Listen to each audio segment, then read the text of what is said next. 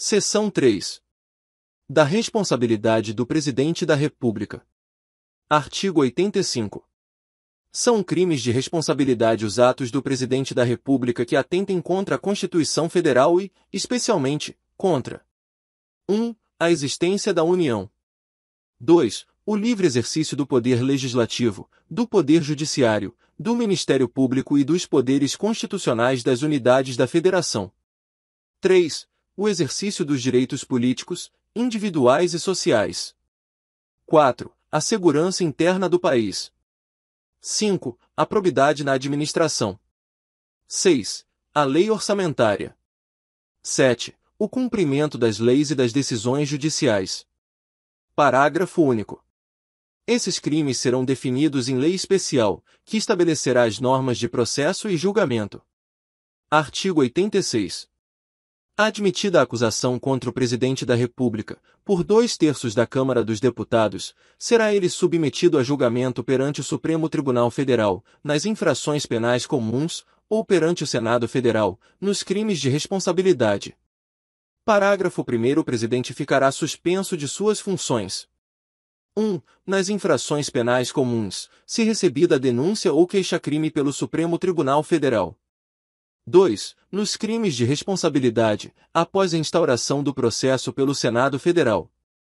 Segundo-se, decorrido o prazo de 180 dias, o julgamento não estiver concluído, cessará o afastamento do presidente, sem prejuízo do regular prosseguimento do processo. Terceiro, enquanto não sobrevier sentença condenatória, nas infrações comuns, o presidente da República não estará sujeito à prisão.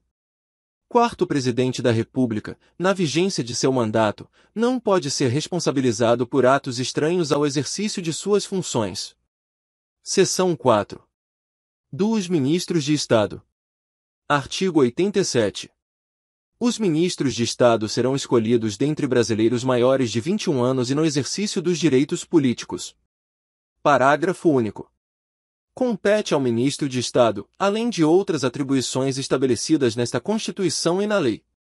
Inciso 1. Exercer a orientação, coordenação e supervisão dos órgãos e entidades da administração federal na área de sua competência e referendar os atos e decretos assinados pelo Presidente da República. 2. Expedir instruções para a execução das leis, decretos e regulamentos. 3 apresentar ao Presidente da República relatório anual de sua gestão no Ministério. 4. Praticar os atos pertinentes às atribuições que lhe forem outorgadas ou delegadas pelo Presidente da República. Artigo 88. A lei disporá sobre a criação e extinção de ministérios e órgãos da administração pública. Seção 5. Do Conselho da República e do Conselho de Defesa Nacional. Subseção 1 do Conselho da República. Artigo 89.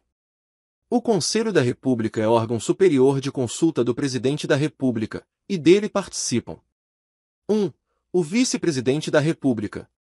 2. O Presidente da Câmara dos Deputados. 3. O Presidente do Senado Federal. 4. Os líderes da maioria e da minoria na Câmara dos Deputados.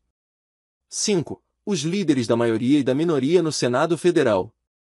6. O Ministro da Justiça. 7. Seis cidadãos brasileiros natos, com mais de 35 anos de idade, sendo dois nomeados pelo Presidente da República, dois eleitos pelo Senado Federal e dois eleitos pela Câmara dos Deputados, todos com mandato de três anos, vedada a recondução. Artigo 90. Compete ao Conselho da República pronunciar-se sobre 1. Intervenção federal, Estado de defesa e Estado de sítio. 2. As questões relevantes para a estabilidade das instituições democráticas. Parágrafo 1 O Presidente da República poderá convocar ministro de Estado para participar da reunião do Conselho, quando constar da pauta questão relacionada com o respectivo ministério.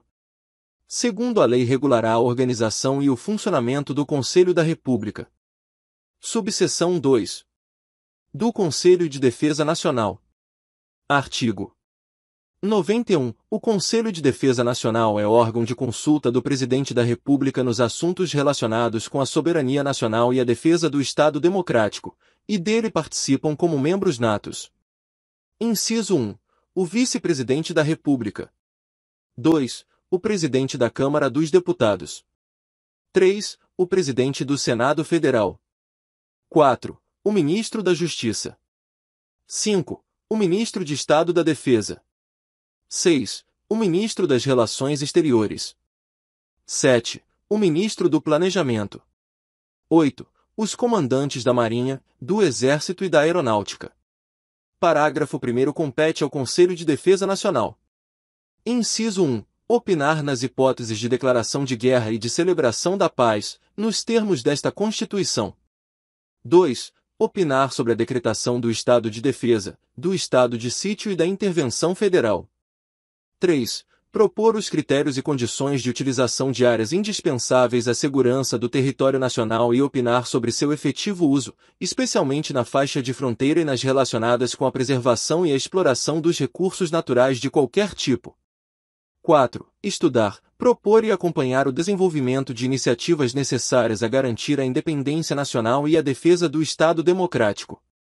Parágrafo 2 A lei regulará a organização e o funcionamento do Conselho de Defesa Nacional.